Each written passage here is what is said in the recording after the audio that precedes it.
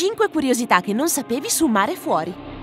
1. La serie è girata al Molo San Vincenzo di Napoli, quindi non si tratta realmente di un carcere. 2. L'attrice che interpreta Nadizza non è napoletana ma romana, ha quindi dovuto imparare a parlare il dialetto e ci è riuscita benissimo. 3. La sigla di Mare Fuori è cantata da Matteo Paolillo, Edoardo nella serie.